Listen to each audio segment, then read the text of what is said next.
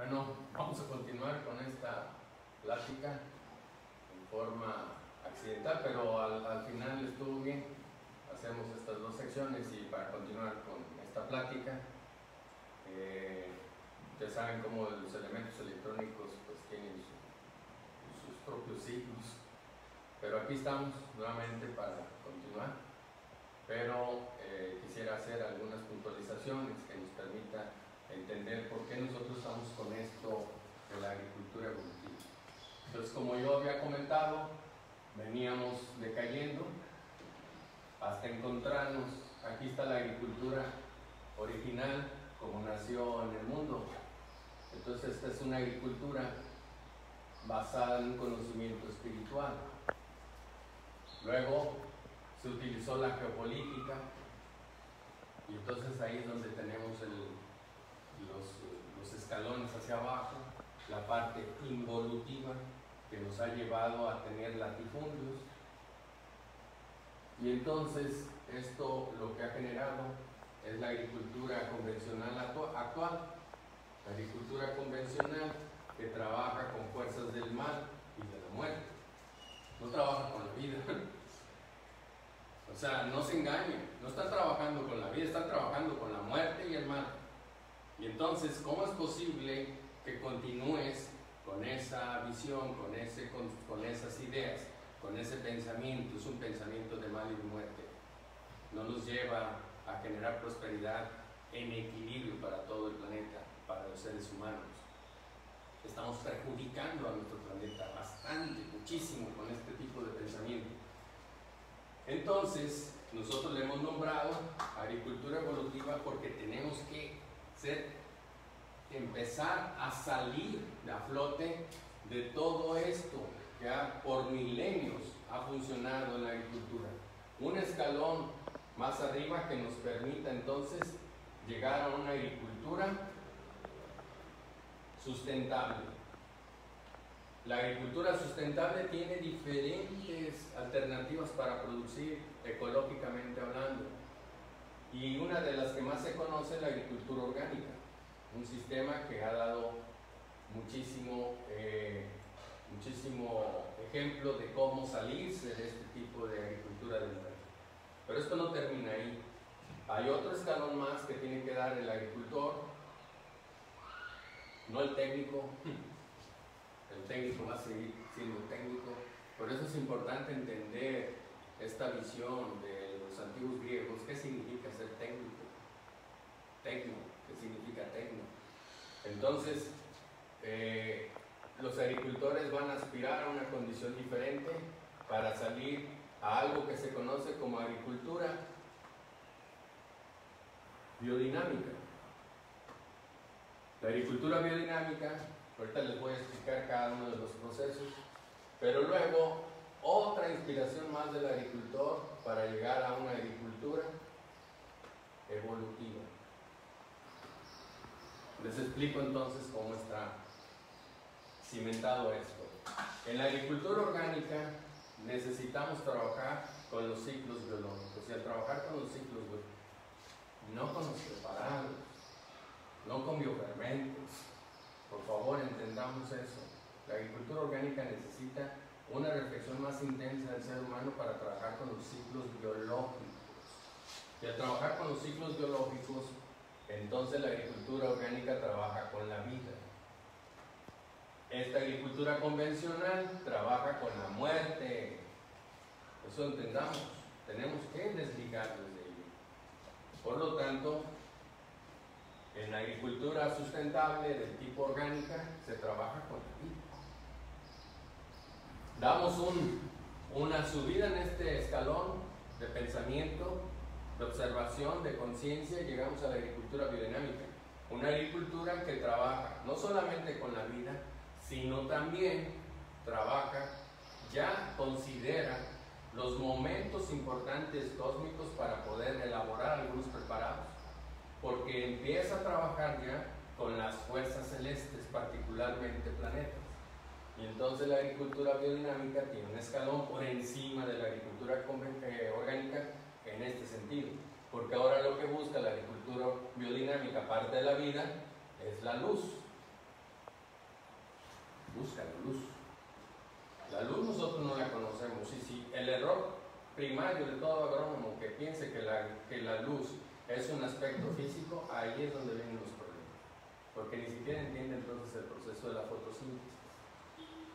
Luego, la agricultura biodinámica da un salto, un siguiente escalón de conciencia y llegamos a la agricultura evolutiva tal como inició al principio.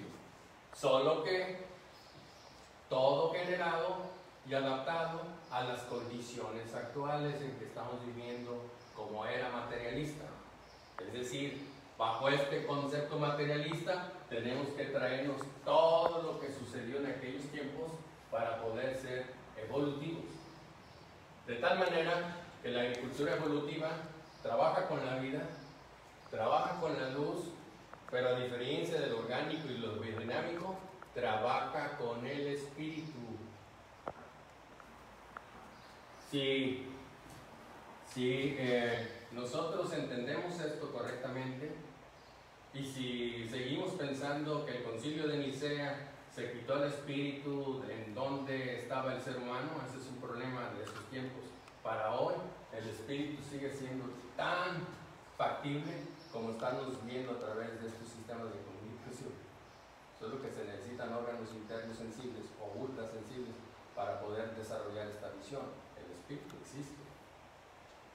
Porque la materia es el efecto. Atrás de esta materia, que es el efecto, que es físico, está una causa espiritual.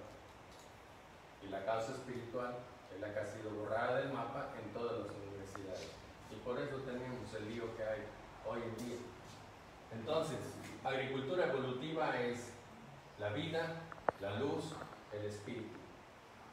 Es donde nosotros trabajamos en resonancia con todo. Nosotros tenemos que entender este proceso de resonancia que estaba muy claro para nuestros antiguos mayas y para nuestros antiguos toltecas, que es la resonancia. Un ser humano incrementa su resonancia interna y entonces conecta en automático con el centro del universo. Ahí depende, de todo esto depende de nosotros.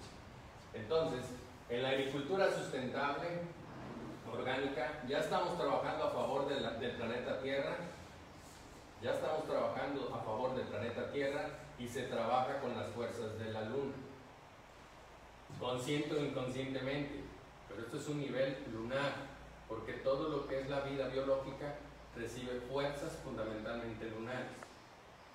Cuando se va hacia la agricultura biodinámica, ya se trabaja a nivel de sistema solar. Esa es la gran diferencia. Sistema solar está trabajando. Sol central con el resto de los planetas. Pero cuando estamos en una agricultura evolutiva, fuera de lo que es el contexto Tierra-Luna o sistema solar, nosotros estamos en resonancia con las constelaciones del zodiaco y de la Vía Láctea. Esa es la gran diferencia. Resonar con la vida, con el sistema solar, con las constelaciones zodiacales y de la Vía Láctea. Porque son dos cosas completamente diferentes. Nuestra galaxia es espirálica. Entendamos esto. Son como dos brazos. Y nuestro sistema solar anda por aquí. Aquí está el centro del gran Alcione, que se calcula sea alrededor de 100.000 veces más grande que nuestro Sol central. De ese tamaño es Alcione. Entonces nosotros vamos aquí. Por eso es importante entender estos conceptos. Si nosotros no entendemos esta, si, no, si nos vamos en conceptos, perdón, nos vamos a desviar. Pero si nosotros tenemos eh, percepción de las cosas, entonces somos más certeros. De tal manera que nuestros prehispánicos hacían ellos siempre códigos, ellos utilizaban su lenguaje solamente verbal, pero no había escritura, por fortuna.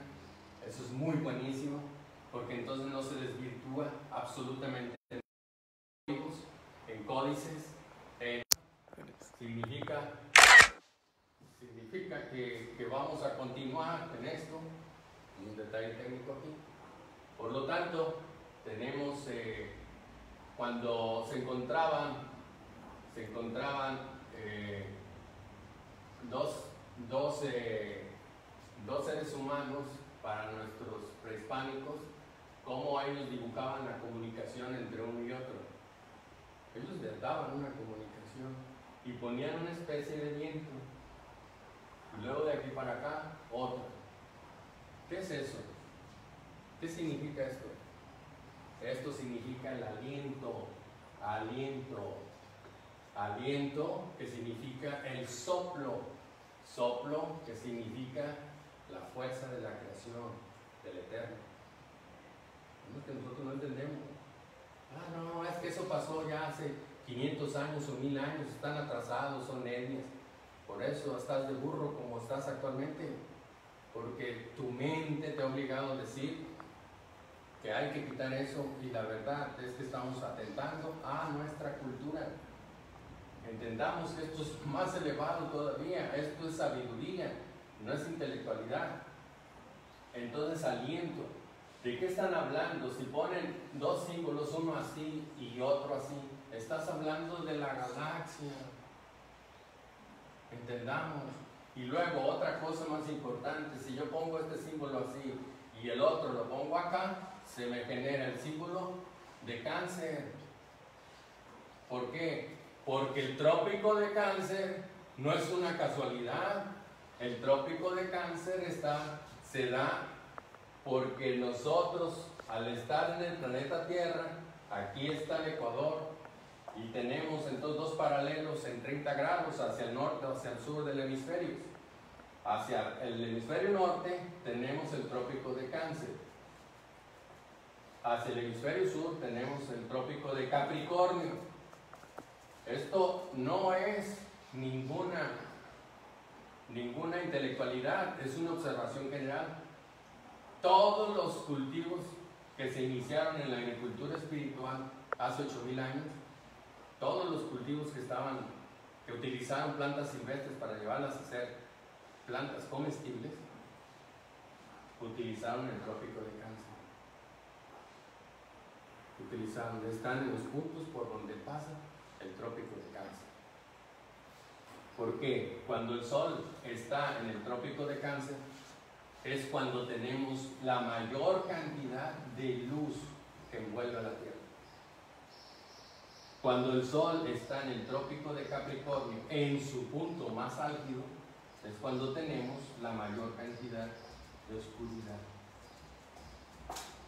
Entonces tenemos el ometeo, que significa la polaridad.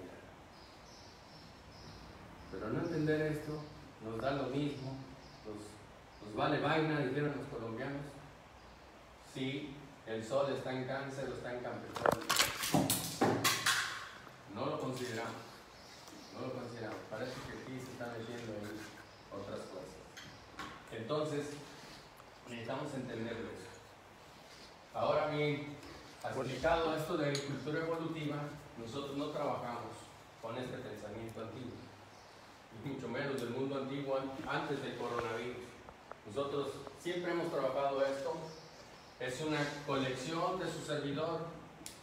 Tengo cerca de 30 años sirviendo a la agricultura en el país en forma directa, tanto como científico, como técnico, como profesionista, como inclusive como profesor universitario que fui alguna, alguna vez y sobre todo como agricultor. Por mi sangre corre por mis venas corre sangre campesina. Entonces entendemos todo esto de tal manera que resumimos, resumimos todos estos factores que afectan la agricultura en el país para llevar una agricultura evolutiva que nosotros le hemos nombrado Tonantzin. ¿Por qué Tonantzin? Porque Tonantzin es una fuerza femenina, es una fuerza de la tierra. Y nosotros en la agricultura necesitamos trabajar con las fuerzas de por eso es tonancia. Eh, más adelante ustedes podrán disponer a través de las diferentes redes y medios de comunicación electrónica que vamos a tener, que tenemos ya en procesos de construcción y van a meterse a que puedan, si les interesa este tema, a que puedan tener más eh, información al respecto.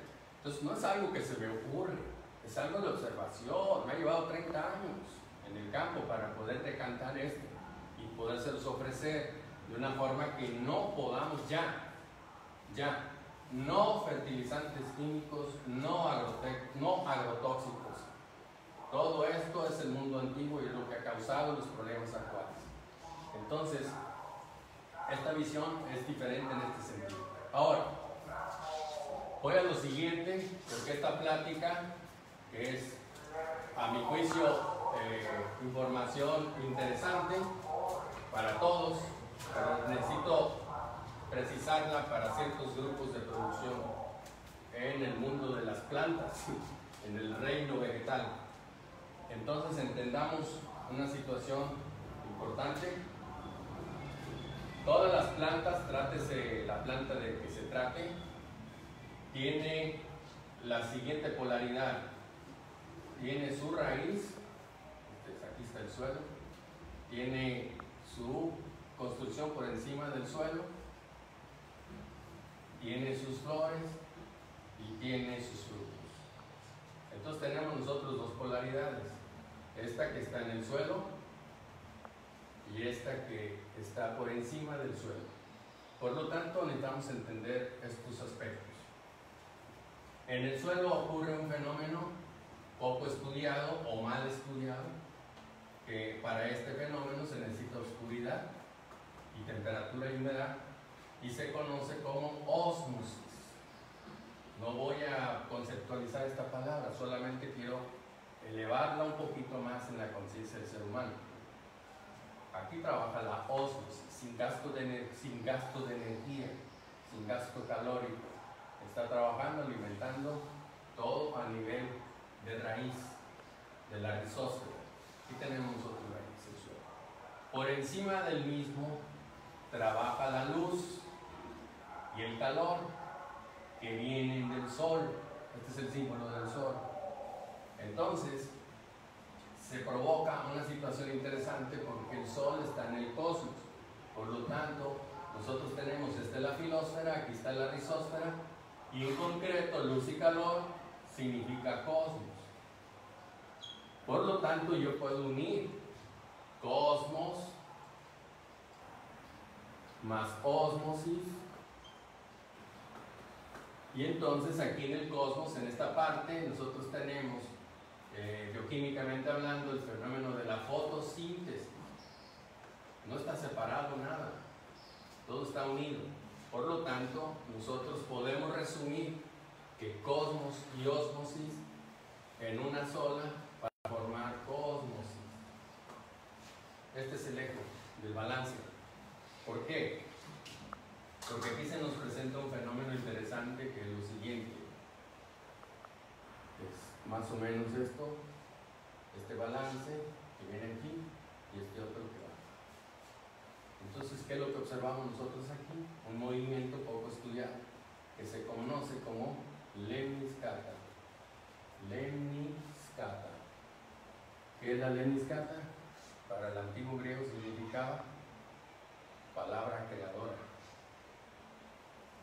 Por eso se habla en las escrituras con San Juan de que la palabra fue primero. En el principio era la palabra. Y por eso nuestros prehispánicos dibujan la palabra. En el principio es la palabra. Y la palabra se hizo carne. Entonces, si en el principio fue la palabra, ¿cuál fue el órgano más desarrollado, sensiblemente hablando, hacia lo espiritual del ser humano, de los cinco órganos que tenemos que nos dan los sentidos? El oído. ¿De qué sirve la palabra si no hay oído? Entonces, si yo me voy hacia los tiempos de Paracelso, podría decir que esta leniscata tiene tres aspectos importantes. Una que es contractiva, va hacia adentro y por eso se da a nivel radicular esta fuerza contractiva. Y otra está por encima del suelo que es expansiva. Dos fuerzas, expansiva y contractiva. Que es la forma y el proceso como trabaja nuestro corazón. Sístole, diástole, sístole, diástole. Entonces entendamos esto. Luego tenemos aquí un punto central. Este punto central es importante porque es la parte que genera que las fuerzas sean expansivas o contractivas. Aquí este punto, es el punto remedial. Para Paracelso, esto contractivo era la fuerza salina, la sal. No estaba hablando de aspectos materiales, sino de fuerzas, fuerzas salinas, son contractivas. Y acá le decía sulfur, que significa fuerza expansiva. Por lo tanto, el sulfur, la sal, y aquí le nombraba el mercurio o mercurio. El mercurio, si nosotros vamos a la etimología de las palabras, mer es distribuir, curios, curar. Entonces significa que esta es la parte terapéutica.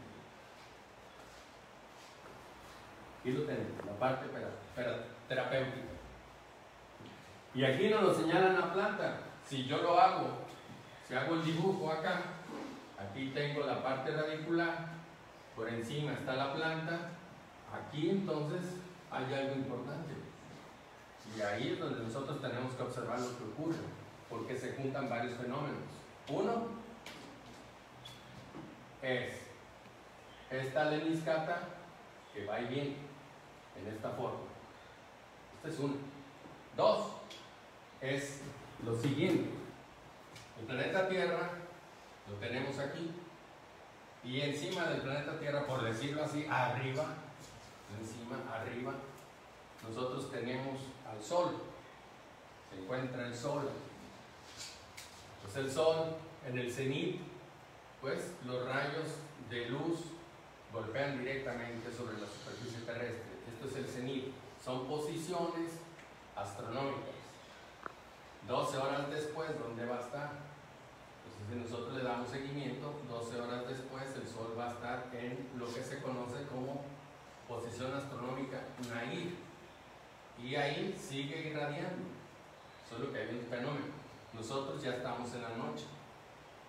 Y estos rayos solares penetran el cuerpo de la madre tierra y se unen a su vez con los que son directos del día en esto.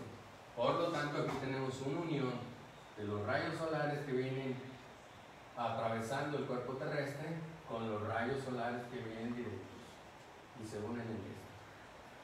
Pues por eso es importante este punto. Cualquier planta. Por ello es que nosotros nos enfocamos bastante en este balance para que pueda darse el principio del desarrollo o del crecimiento de cualquier cultivo. Visto las cosas así, entonces tenemos una apreciación diferente. Quien, quien regula todo esto de las fuerzas solares que se unen es la luna. La luna en sus diferentes posiciones, desde el punto de vista astronómicas o mejor dicho, sinódicas. Luna nueva, luna nueva. La luna tiene 650 movimientos que afectan el crecimiento de las plantas. Esto solamente es una descripción. Ustedes tendrían que investigar un poquito más de la información que tenemos disponible para ustedes para entender todos estos Esto es para que nos quede claro cómo trabaja. Entonces, ahora voy al siguiente aspecto que nos permite avanzar en este sentido. Todas las plantas todas las plantas utilizan el fenómeno de la fotosíntesis.